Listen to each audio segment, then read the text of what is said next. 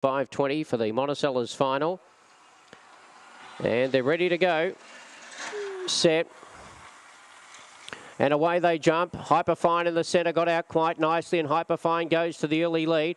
Our Blue Spolly's trying to angle up on the inside. Then came Blazing Norman. About a length or so, then came Setter.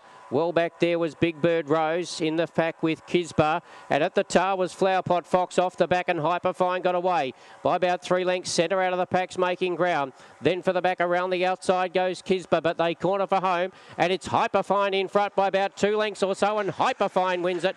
Setter second. Third on the outside, Our Blue Spolly. Then further back, Blazing Norman. Then came Kisba, Flowerpot Fox, and well out of it there, Big Bird Rose. And the time there is 29.63. Number five, Hyperfine, straight to the lead tonight. Number five is the winner, 946, 1827, 2961.